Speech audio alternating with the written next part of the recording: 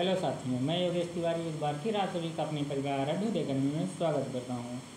इलाहाबाद विश्वविद्यालय C M P से latest update के लिए हमारे चैनल अभ्युदय अकेडमी को सब्सक्राइब करें और जो भी बच्चे टेलीग्राम से नहीं जुड़े हैं, जुड़ जाएँ, वहाँ पर भी अपडेट की जाती जैसे कि सीएमपी की जो तीन चार पाँच को एग्ज़ाम होने वाला है B S C B first year का। उनका शेड्यूल आ गया मतलब उनकी जो प्लेस है, उनका निर्धारित किया गया, कहाँ पर एग्ज़ाम होगा, उसकी पीडीएफ जो है टेलीग्राम चैनल पर है। और जो यमकाम आईडी का रिज़ल्ट कल आया है, उसका ग्रुप डिस्कशन 31 और 15 और 16 सितंबर को होने वाली है। सभी न्यूज़ वेबसाइट टेलीग्राम चैनल पर भी मिल जाएगी, और वेबसाइट पर आप जाके डाउनलोड कर सकते हैं, जैसे वेबसाइट पर ये है। यहाँ जाएँगे न्यू न्यूज़ सेक्शन में, वहाँ पर आपको मिल जाएगी। और बात करें, जैसे कि रिज़ल्ट लगभग एंट्रेंस एग्ज़ाम का रिज़ल्ट आए एक हफ़्ते से ज़्यादा हो चुका है और सभी बच्चे वेट कर रहे हैं कटाफ कब तक आएगी? आई थिंक कटाफ की बात करें तो उससे पहले अभी जो एग्ज़ाम अभी जो यूनिवर्सिटी में चल रहा है, वो चल रहा है एग्ज़ाम बी जो फ़र्स्ट सेमेस्टर वाले बच्चे जितने हैं, चाहे वो बीएससी के हों, चाहे बीए के हों, चाहे बी कॉम के सभी का एग्ज़ाम चल रहा है, जिसकी वजह से जो वहाँ पर कर्मचारी हैं, जो काम करने वाले लोग हैं, जो अध्यापकगण हैं, उनको दोनों चीज़ों को मैनेज कर पड़, करना पड़ रहा है, जिसके कारण से इधर भी लेट हो हो रहा है। आपके कटाव बनाने में लेट हो रहा है। जैसे एग्ज़ाम का बर्डन कम हो जाएगा यूनिवर्सिटी में एग्ज़ाम जो है वो होने का है उनतीस उनतीस या चौबीस चौबीस सितंबर तक होगा। एग्ज़ाम जो होगा वो चौबीस सितंबर तक होने वाला है। लेकिन जैसे कि अब एग्ज़ाम लगभग पाँच या चार पाँच तारीख से कम हो जाएगा, दो दो दो पेपर होने वाला है। कुछ लोगों का बचेगा, बीस बी ए और बीएससी वालों का ही बचेगा। उसके बाद से इस पर भी काम किया जाएगा और अनुमान जहाँ तक मुझे लगता है, जो आप लोगों का कट ऑफ़ है वो दस तारीख तक आ जानी चाहिए। दस सितंबर तक आ जाएगी। दस सितंबर तक आ जाएगी उससे पहले भी आ सकती है। उसके बाद तो नहीं लगता कि इतना लेट करना चाहिए, जबकि 10 सितंबर तक आ जानी चाहिए कटार इतना उम्मीद है।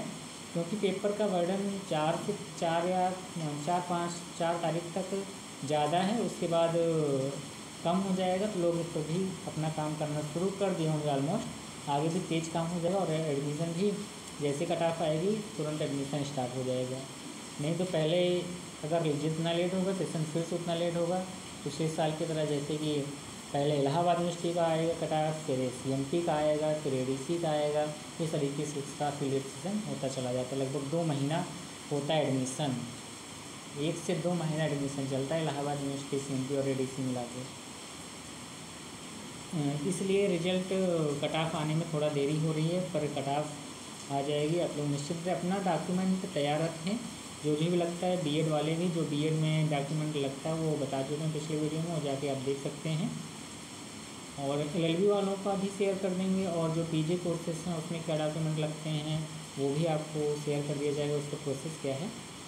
अगर आप जानना चाहते हैं तो वो भी बताया जाएगा, जो बच्चे एडमिशन ले चुके हैं उनके माध्यम से।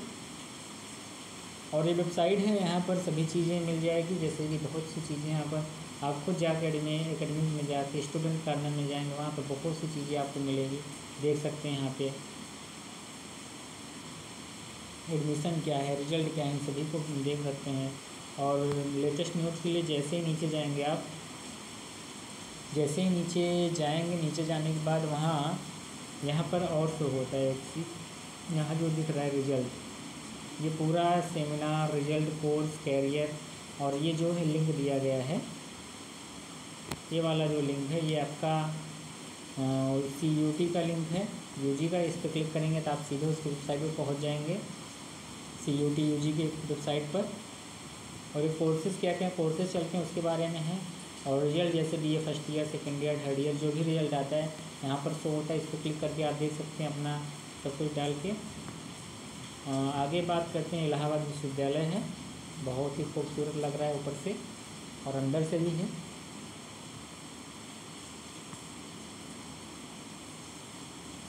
यहाँ पर वृक्षों की घनी छाया बड़ी खूबसूरत लगती है। और ये हाँ ये चीज़ें जो हैं, यहाँ पर रिज़ल्ट लेटेस्ट न्यूज़ चल रही है। जैसे रीड आल न्यूज़ पर क्लिक करेंगे तो वहाँ पर भी कई न्यूज़ अभी जो रिज़ल्ट आया, रिज़ल्ट डिक्लेयर हुआ है। और साथ ही साथ आगे और बात करेंगे, पूरा न्यूज़ खुल जाएगा। यहाँ पर जो भी न्यूज़ आई होगी, वो पूरा शो होने लगेगा। यहाँ से आप देख सकते हैं, बस आज के लिए बस इतना ही। फिर मिलते हैं लेकिन थैंक यू फॉर वॉचिंग